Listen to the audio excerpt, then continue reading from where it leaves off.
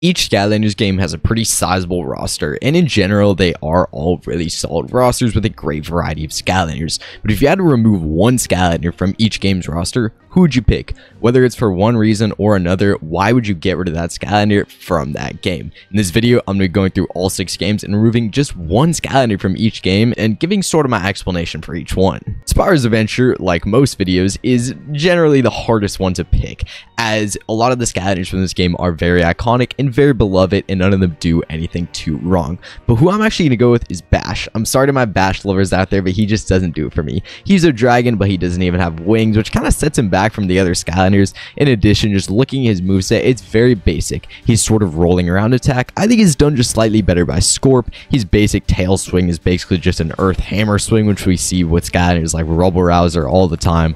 And his third attack, where he makes a rock protrude from the ground, is seen by like every Earth Skylander under the sun. So nothing about this guy's moveset hasn't been done in a later game and might have been done even better in a later game. So I am going to have to get rid of Bash, although I do like my boy Bash. I also have noticed that he isn't actually the best in game. While he isn't bad and he's fun, I would say to some extent. He isn't exactly the most effective Skylander in combat. If you're playing SSA or Giants, you might as well use another Skylander. And then when we get to Giants, I am simply going to go with Sprocket. Sprocket, I think this is the pick that most of the community want for Giants because no one seems to ever like Sprocket.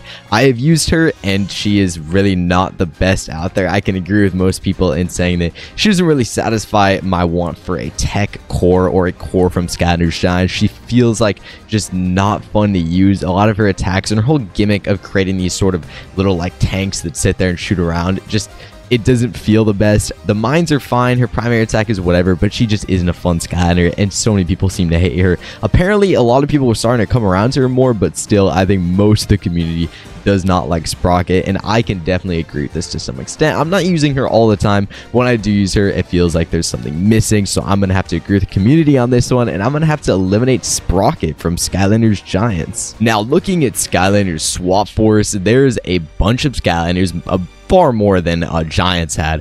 But for me, I'm actually going to get her Doomstone.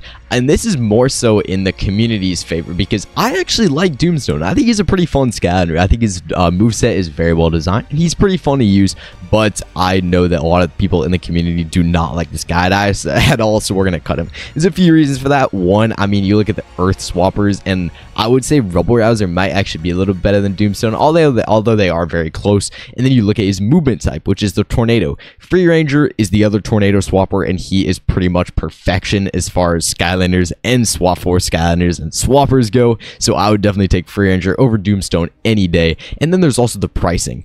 Doomstone is by far the most expensive swapper, and he brings up the average by so much, as most of them tend to go for about $10. And Doomstone is like a $30 Skylander, and that price you know is only going up. He was the last Skylander released for Swap Force, and he was already pretty difficult to find in stores, so he's rare, he's expensive, and no one seems to like him. Lots of people call him Dumbstone. I'm not really sure why. His bottom half is apparently one of the worst of all time for DPS, and his top half I actually think is fine. I think he's fun to use, although the community does not seem to like this guy at all, so we're going to cut him from the Swap Force roster. And then moving over to Trap Team, this is once again a pretty big roster, and since we cannot just eliminate all of Light and Dark, I'm going to actually look at one of the core 8 elements, and when I look at the Trap Masters, I think the one that stands out the most is Head Rush. The reason for Head Rush is because you look at all the elements of Trapmasters, and Earth is the only one where there's a clear favorite and a clear least favorite. Everyone seems to like Wallop, and no one seems to like Head Rush.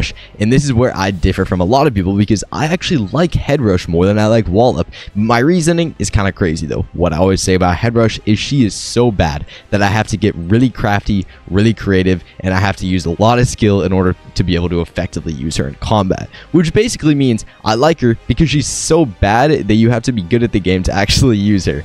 Uh, this is a kind of a crazy take, and I can see why everyone hates her. She is a very bad Skylander in comparison to someone like Wallop, and so I'm going to carve from this roster because at least someone like Blastermind does have his lovers, but when it comes to someone like Head Rush, I feel like I'm the only person on the planet who actually likes Head Rush. And then in Superchargers, this is another one that actually kind of makes me sad as I like this guy, but he is very hated by the community.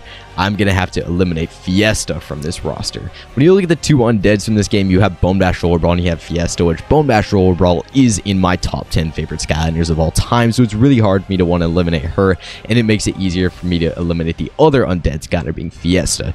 This guy has some of the worst damage per second of all time in any game, and this has been pretty much confirmed. His damage is not very good, but personally, I think he's a pretty fun Skylander. I think this guy is fun to use. It might be the same situation in Head Rush where he's just like so bad that you have to get crafty to use him. I'm not totally sure why, but I actually like using Fiesta a lot, but I know that so much of the community does not like this guy at all. So much of the community and a lot of the pro players have agreed that this guy is one of the worst Skylanders of all time, and some people actually think he is the worst Skylander, and that there's a pretty significant gap between him and the second worst Skylander of all time, which really puts into perspective how bad this guy is when you look at a pro level of Skylanders. So I'm gonna have to put him in the eliminated category for Superchargers, and he will be the Skylander that bites the dust.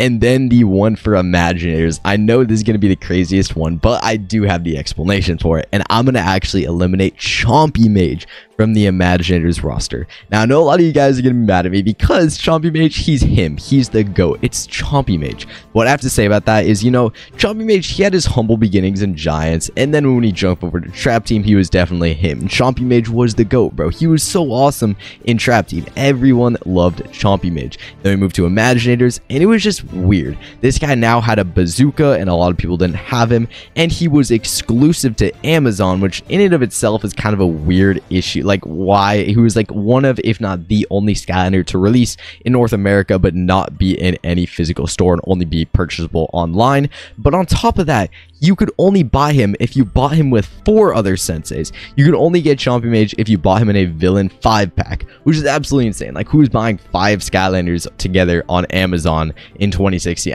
it was just so crazy. And nowadays, this guy goes for like 400 bucks. So if we cut him from the roster, everyone would save $400 on their his Imaginators collection, which I think everyone needs at this point. I mean, Chompy Mage is so expensive, it's so rare, and he's becoming exceedingly difficult to even find listings for him on sites like eBay or Mercari. This guy's price is only going up, and in Imaginators, it, he just almost doesn't even feel like Chompy Mage. Instead of having his classic moveset that worked perfectly in Trap Team with his staff and turning into a giant Chompy that sends out shockwaves and summoning Chompies, it worked so well in Trap Team. And Imaginators, they kind of just threw all that on the window and said, hey, we're going to stuff Chompies in an RPG and shoot them out at the enemies. It was crazy. It was wild. I don't know really why they did it, but Chompy Mage doesn't, doesn't feel the same. And if you're going to say, well, his gameplay is great, his gameplay is great, you could say that he is, you know, peak villain sensei gameplay. Tae Kwon Crow is just, it's more peak villain sensei gameplay, so just use Tae Kwon Crow in my opinion. I know a lot of these might throw a lot of people off, but this is just my personal opinion, and this is